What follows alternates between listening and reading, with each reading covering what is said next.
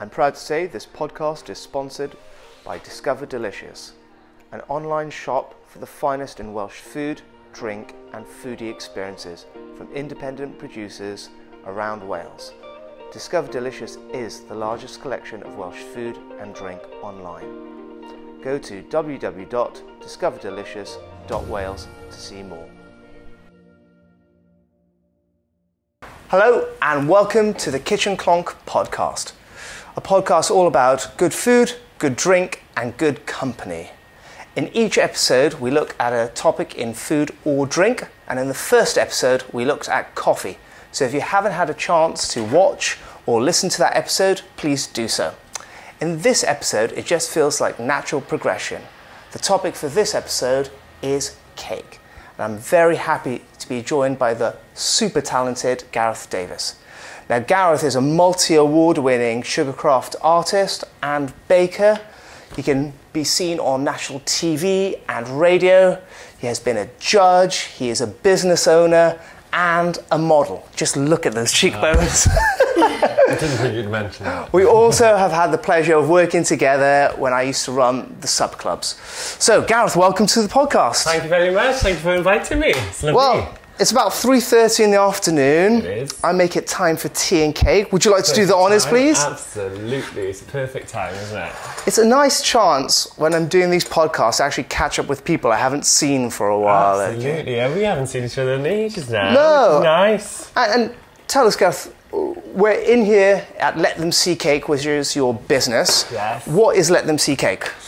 Oh, so Let Them See Cake is a little business here in Victoria Park, and we do lots of different things here. So we do events, we do classes, um, and we also sell birthday cakes and celebration cakes as well. Um, so we've got always got something going on for the children and adults. And we do kind of evening classes and little bits like that, so it's good fun. And yeah. how long have you guys been running now? So it'll be two years now in April. So Fantastic. yeah, so I'm looking forward for the second birthday. And where can people look for your work? Where they can where can they find you know Let Them See Cake All the online? socials. Yeah, All all the socials. Hit them up with yeah. their socials, Gareth. Yeah, we're Let's on- have tea. At Let Them See Cake. We're all up there on Instagram and Facebook and Twitter and also on our website. So if you fancy coming along for one of the classes, have a little look at our website, letthemseecake.com. Fantastic. Okay, done.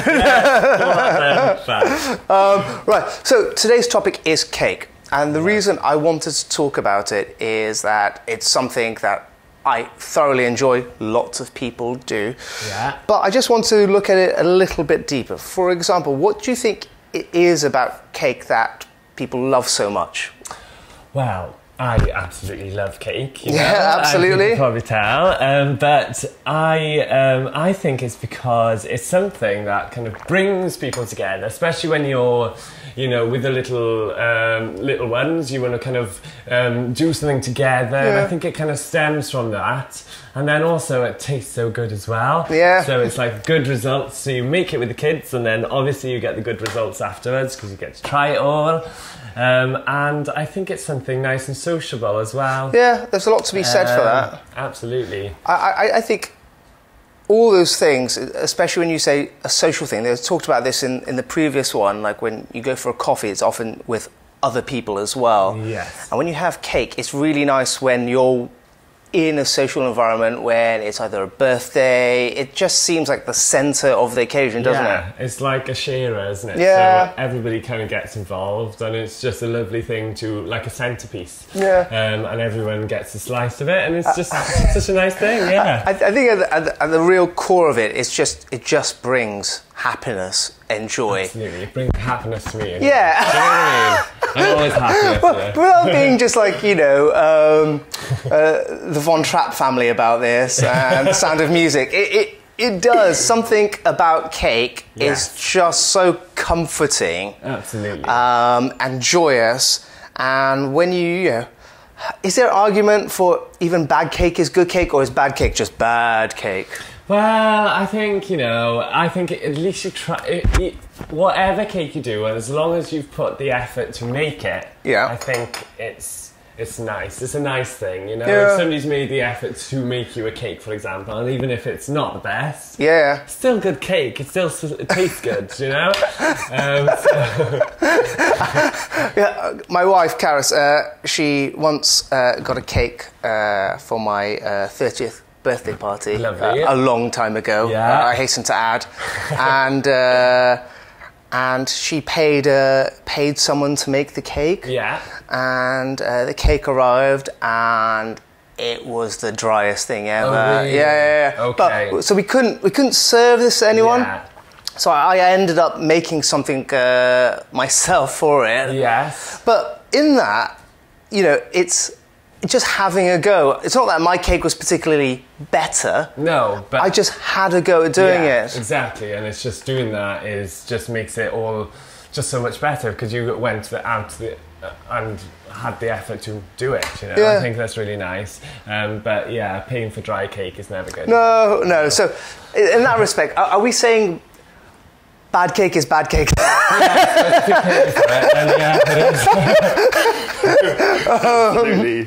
so, uh, but that having a go um, in terms of making cakes and, and baking, do you think shows like, uh, I mean, very obvious question, and I'm, I'm sure people uh, are thinking, well, I know the answer to that, but do you think shows like Bake Off have had a huge impact on baking as a nation? Absolutely, yeah, I think so because it's like bringing people together. Yeah. Um, and to watch a TV program that people, everybody's got like something in common. Like they might not even bake, but everyone, Yeah. most people like cake. So it's watching something that everybody enjoys watching. And I think it does definitely come round then to um, people wanting to learn how to make cakes and stuff like that. And um, that's why we come in handy here Yeah. because we have seen the boom um, since Bake Off's been on. So, do you think there's a direct link between, you know, with Bake Off and, for example, the kind of business you're in? Absolutely, yeah. Well, we're lucky enough actually to have people from the Bake Off come here Yeah. and demonstrate and different bits like that. And they're so popular. People love coming Yeah. to see them, and we just want more from them, you know. And um, people want to learn from.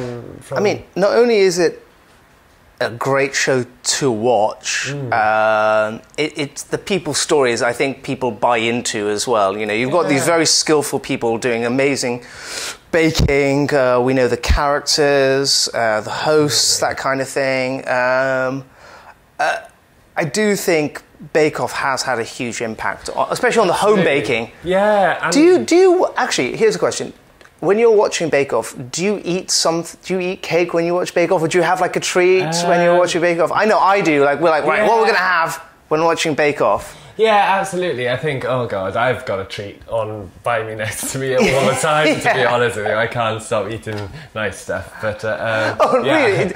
Do you ever reach a point where like I just don't want to look at a cake? No. No. Think so. No. Sometimes, especially my own case, I suppose it's just like because I make them all the time Yeah. and every day. It does get a bit, you know. But I like to eat different stuff. Like I love chocolate and stuff like that. Yeah. Um, but not always cake. I don't always go for cake. How do you how do you think the show's translated when it moved from like BBC Hmm. to Channel Four?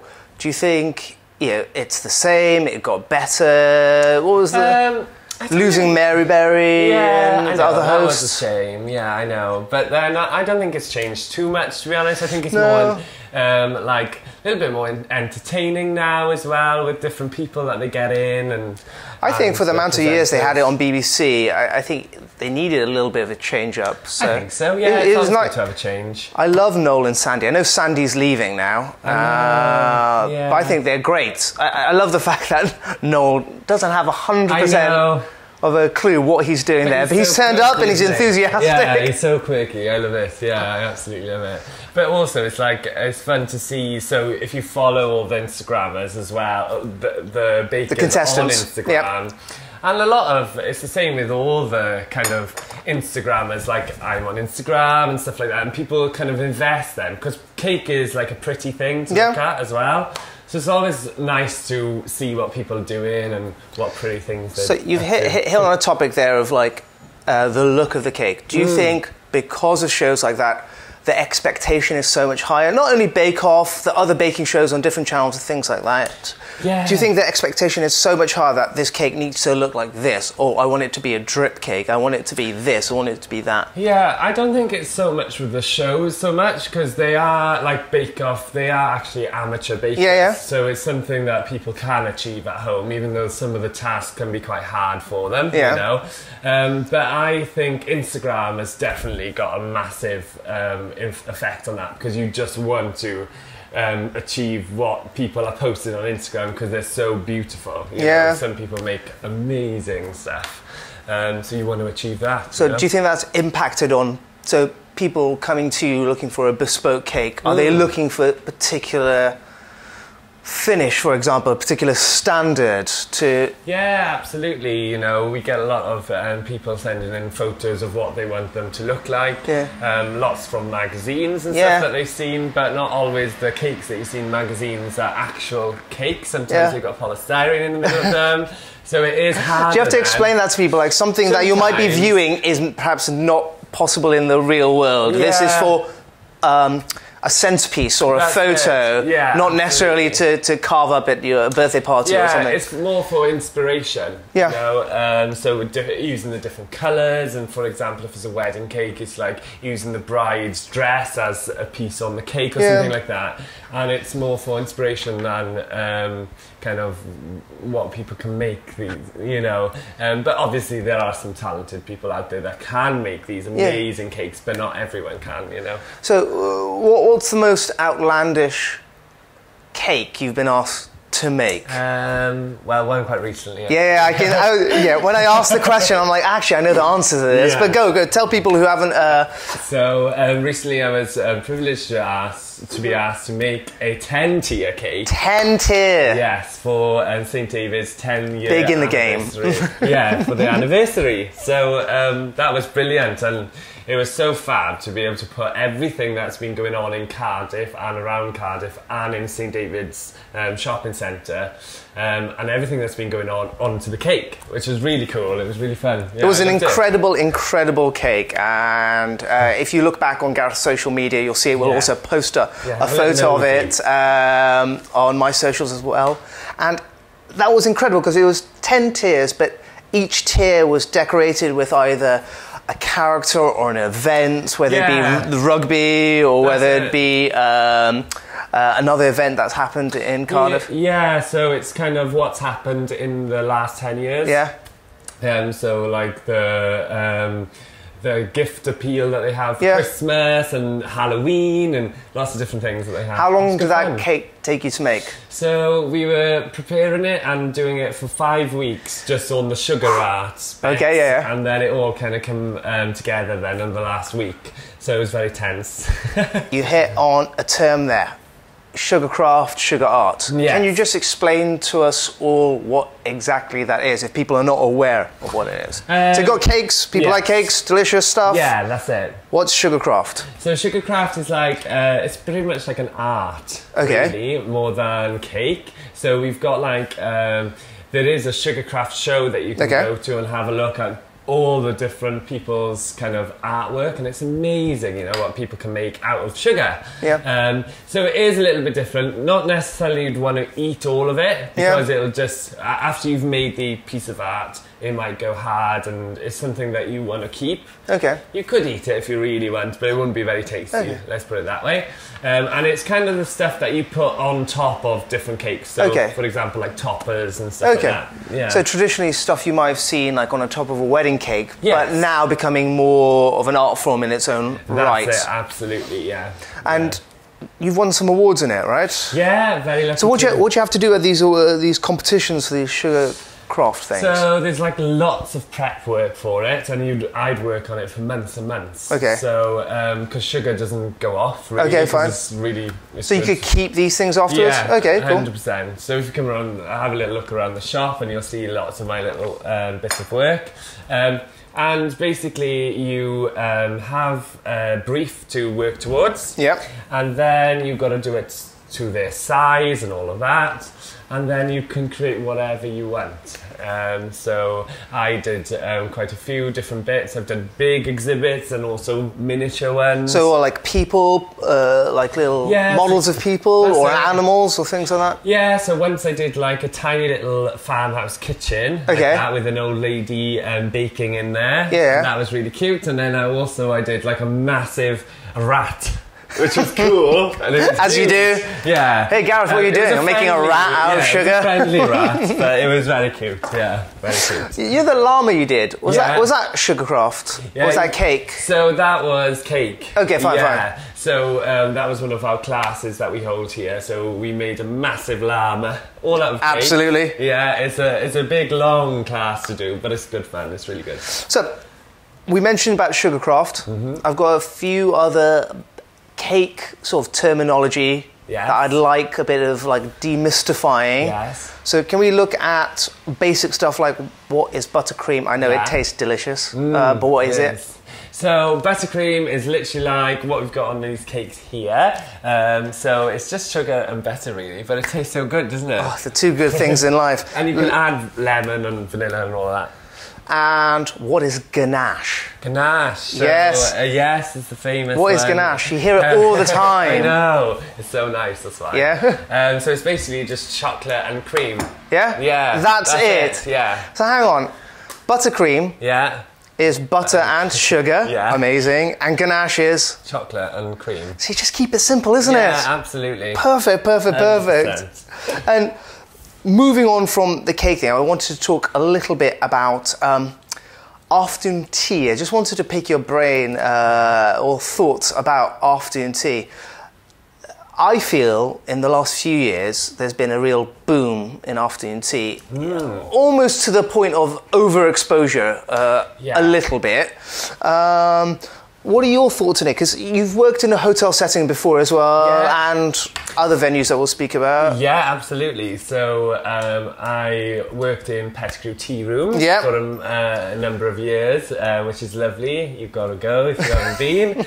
Um, it's so nice there, and we served afternoon tea, and it's uh, it's just one of these things I think that are so popular now, Yeah. and it's just a nice thing to do. Yeah, you know? it's a nice special occasion thing, isn't it? Yeah, absolutely. But do, do you feel like because it's so popular, sometimes the importance of it has been watered down a little bit? Because in my, in my opinion, Yeah. just my thoughts, I think it is such a skill to produce these tiers to a certain level. I think it's being done so often, and then sometimes I think it's just attention to detail. So the one at Pettigrew Tea Room, which is very, very good, Yes. um, is just a lovely, lovely afternoon uh, tea.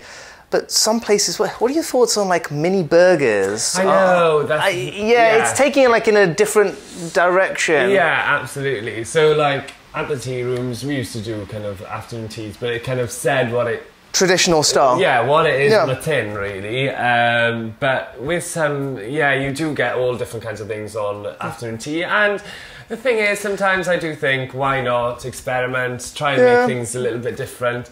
It's like light bites and stuff like that.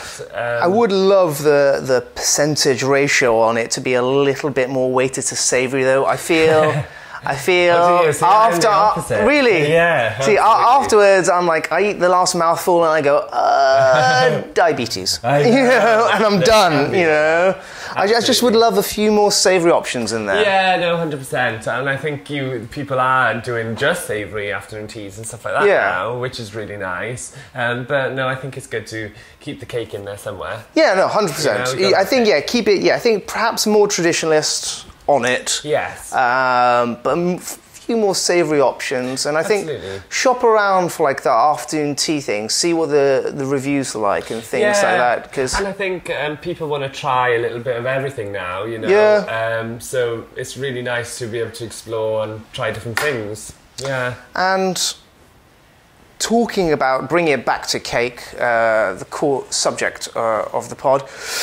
If people are new to baking or just getting into baking, Yeah. are there any uh, basic top tips you can give them to, for starting baking? For example, equipment, things like that. Mm, absolutely. So, firstly, I'd say don't go out and buy all the tools and equipment in the world because you do not need them. Basics are always the best because that's kind of. I went when I first started and ran. I Yeah. went and got everything in the shop because it's just so tempting. you know? KitchenAid me up. Yeah, just all of that. But um, after doing it for so long, I realised actually you don't need all that. You Yeah. just need the tools. These are your tools, um, and you just need to use them basically. um, so that's kind of one big top tip. Um, and also stick to kind of basic. Um, so when you're baking and stuff Yeah. like that, try um, start off by just um, using the um, simple recipes that you can chop and change now and again Okay. adding different flavors to it and stuff like that and try not to go too wild um, and I think lots of people tend to look at YouTube and stuff like that, which is brilliant. Yeah. Absolutely fab. But um, sometimes there's like American recipes and stuff like that. And people go out and um, they're new to baking and they try these American recipes and they don't work. Um, and then they they think, why isn't it working? Um, so try UK. So just keep it keep it simple. Yeah. Keep it to what you know in terms of uh, whether it be metric or imperial. Yeah, You know. Um, you said equipment wise, you wouldn't go for much. Set of good scales, perhaps. Yeah, absolutely. You need Some digital scales might help. Yeah, you need the scales, you need the basics. I've got a KitchenAid here, you know, and they're really, really helpful. Yeah, yeah, yeah. Um, But you don't necessarily go to, need to go to that expense, do you? You No. could you could get a handheld. Absolutely, 100%. See how you get on and then work yeah, from there. yeah. you know? Because I find, yeah, and you know, you- you're the the expert here. Baking is a science. Oh, you, you can't just like wing it necessarily. No, it's a lot of practice, and if it doesn't go f- right first time, try it again. Yeah. And always note down when it hasn't gone right. Always note down what went wrong and try Yeah. and figure it out that way. Really. I think people stress themselves out too much, or, but we all do. We all have like Oh, high expectations of ourselves, and we want to do the best that we can do. But I think top tips are just keep it simple. Mm-hmm. Start simply, and then yeah, don't go out and get all the kits. No. Uh, digital scales for sure, for Yeah. sure. Yeah, And then take it from uh, there really. And there's loads of good online recipe and courses like yourself that if you Yeah. want to improve. I definitely, um, I definitely recommend going on to courses and bits like that to start with. And sometimes people tend to do it the opposite way around, so they do a lot of baking at home and then they go on courses, Yeah. which is good, of course. But then if you went before you even started, then you'll learn what tools you need to use. Yeah.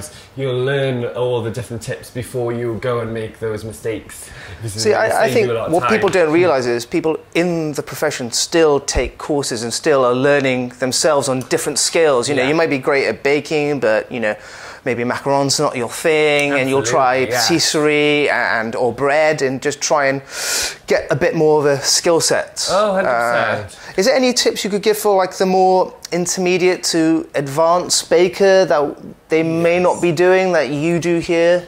Yeah, so um, I would say not to be um, afraid of trying different things. Okay, fine. For example, last week I'd never ever made a macaron Okay. in my life, Imran. Which I find hard to believe. I know, Yeah, right? I, I, It's mostly because lots of people were saying online and all of that that it's really difficult to do and they're always tricky and they're a bugger to make. Why not just buy them and all of that? Yeah. Um, so th- I always just bought them, Imran. but until last week, I give it a go. Okay. And because I was scared of them before that. Oh, don't be scared of the No, macaron. I. I love know. this. But last week I gave them a go, and after a couple of attempts, it did take me a c- a f- a few attempts. Then I just got them right, and um, I wouldn't expect anything less. Well, you know, but no, it's just important to give things a go. Yeah, you have to try. Things can be a little bit daunting. Same with cooking uh, and, and baking. You do have to practice. You have to do it Oh, often. And if you don't do it often, you're not going to improve. And then you'll just get frustrated the next time you do it and wonder what's going wrong, you know? Yeah, I always say to my students, like when they see me making something or something like that, and then they say, "Why can't I? Why isn't mine looking like yours?" Well, I'm, I always say, "Well, I've done it thousands of times, and um, like practice makes perfect." Yeah. But it was a different story when I was making macarons last week because I was like, "Why can't I get it right?" but yeah, You know, I can just imagine the scenes here. Macarons being thrown everywhere. Ryan ducking for cover. Yeah, absolutely. Um, whilst we're on the, the tips front, um, any tips for our gluten-free peeps and our vegan peeps? yes, good good recipes and um, basically. I can't believe I actually said peeps there. Yeah. Uh, I'm just gonna Well, say. that was what I'm trying to- I know. We just got very casual there all, all of a sudden. No, Um, just good, just good quality recipes, and have a little look out there because there are good ones out there. Yeah. And if you're not confident, again, go on different courses and try them out as well. Yeah. And um, yeah. So, any specific thing, for example, for um, a gluten-free, uh, do they have to just stick to gluten-free flour? Can they use something else? Um, well, gluten free, yes, it depends really because you've got celiac disease and stuff like that. So you need to be very, very cautious. Um, when I, I'm unfortunately don't do gluten free Okay, here because I've got a the environment isn't right. Yeah, it. no, I appreciate that. Um, and one day I'd love to have just a gluten free kitchen. okay, know. fine. So one Um, separate one that you can. yeah, yeah. So you need to be extra, extra careful if you do go and venture down the gluten-free So um, just- options. Look at it a bit more thoroughly online. Yeah, read a few good really gluten-free recipes. Same for vegan. Yeah, absolutely. Well, there's lots of different vegan stuff. Uh, we are looking into doing lots more vegan because it's much more popular Yeah, now. absolutely. Um, so we've we've done courses on vegan baking and stuff like that here. Um, so we want to be able to offer more uh, vegan cakes and stuff as well. So Super. yeah, looking forward to that. And as we uh, uh, approach uh, the end of uh, the podcast, Yes. um, primarily because I want to eat those cakes, uh, primarily, um, what's your favourite cake? I My know, oh, my favourite. I know, put you on the spot. Oh, do you know what? It has to be carrot cake, I'd say. Really? Yeah. Yeah, I like that. Strong really choice. different, yeah. And I don't usually do carrot cake here because No? it's usually like sponges and chocolate cakes and stuff. So I don't often get a carrot cake. So Yeah. I, I do enjoy it. Any any like cream cheese frosting on yeah, there? I see. gotta have that. Yeah, no. Yeah, hundred percent. I didn't think you want to say carrot No? cake. No. What would you think? Then? I, I was going to say some sort of like chocolate cake Really, or something. See, I'm quite old school, like rather unfashionable red velvet cake. I love a red oh, velvet cake. it is good. All Victoria sponge. No, no, absolutely. Yeah. You gotta stick to the basics. But carrot cake, no, that's got me thinking. Yeah. No, quite like. What's the most popular people order then? Um, I think it's um, Flavour-wise? like vanilla because I think every, it pleases everyone. Yeah. know? and the vanilla cake here is lovely, even though I always say it myself. so, Absolutely. you know. I love it. You're so on message. I, I, I love it. I love it completely. Right. So, um, I'd just like to say uh, thanks very much for coming on the pod, uh, podcast, Gareth. It's been a pleasure so just to catch up more Yeah, than anything I. else. And I hope uh, the podcast has been a good listen and good watch for you guys. If you like what you've heard and what you've watched, please subscribe, please comment in the box underneath, please share, tell your friends, and hopefully we'll see you on the next episode. Bye.